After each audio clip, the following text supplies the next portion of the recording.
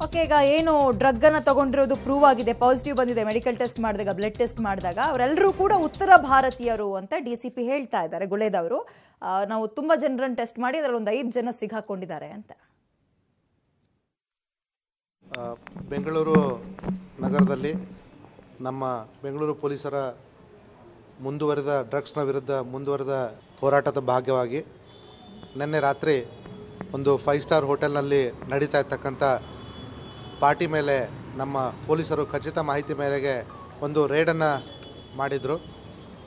ಆ ರೇಡ್ ಮಾಡಿದಾಗ ಸುಮಾರು ನೂರಕ್ಕಿಂತ ಹೆಚ್ಚು ಜನರು ಅಲ್ಲಿ ಪಾರ್ಟಿಯಲ್ಲಿ ತೊಡಗಿಕೊಂಡಿದ್ದು ಕಂಡುಬಂತು ಅದರಲ್ಲಿ ನಾವು ಅಲ್ಲಿರ್ತಕ್ಕಂಥ ಪಾರ್ಟಿಯಲ್ಲಿ ಪಾಲ್ಗೊಂಡವರ ಜನರ ಮೇಲೆ ಕೆಲವೊಂದಿಷ್ಟು ಜನರನ್ನು ನಾವು ಈ ಮಾದಕ ವಸ್ತುಗಳ ಸೇವನೆಗೆ ಟೆಸ್ಟ್ಗೆ ಒಳಪಡಿಸಿದಾಗ ಅದರಲ್ಲಿ ಸುಮಾರು ಐದು ಜನ ಪಾಸಿಟಿವ್ ಬಂದಿದ್ದಾರೆ.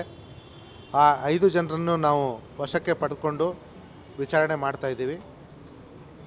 ಆ ಪಾರ್ಟಿ ನಡೀತಾ ಇದ್ದಂಥ ಜಾಗದಲ್ಲಿ ನಮ್ಮ ಬೆಂಗಳೂರಿಗಿಂತ ಹೊರಗಡೆಯವರು ಜಾಸ್ತಿ ಇದ್ದರು ಅಂದರೆ ಈ ಉತ್ತರ ಭಾರತದವರು ಜಾಸ್ತಿ ಇದ್ದಂಗೆ ಕಂಡು ಬರ್ತಾಯಿತ್ತು ಮೂವತ್ತೈದು ಜನ ಟೆಸ್ಟ್ಗೆ ಒಳಪಡಿಸಿದಾಗ ಡಿ ಸಿ ಪಿ ಭೀಮಾಶಂಕರ್ ಗುಳ್ಳೇದವ್ರು ಹೇಳ್ತಾ ಇದ್ರು, ನಮಗೆ ಖಚಿತ ಮಾಹಿತಿ ಮೇರೆಗೆ ನಮ್ಮ ಪೊಲೀಸರು ಅಲ್ಲಿ ಗ್ರೇಡ್ ಮಾಡಿದ್ರು. ಆಗ ಸುಮಾರು ಒಂದು ಮೂವತ್ತೈದರಿಂದ ನಲವತ್ತು ಜನರನ್ನ ನಾವು ಅನುಮಾನ ಬಂದವ್ರನ್ನ ಟೆಸ್ಟಿಗೆ ಒಳಪಡಿಸಿದಾಗ ಒಂದು ಐದು ಜನ ಅದರಲ್ಲಿ ಡ್ರಗ್ ಅನ್ನ ತಗೊಂಡಿರೋದು ಅಥವಾ ಕನ್ಸ್ಯೂಮ್ ಮಾಡಿರೋದು ಪ್ರೂವ್ ಆಗಿದೆ ಅಂತ.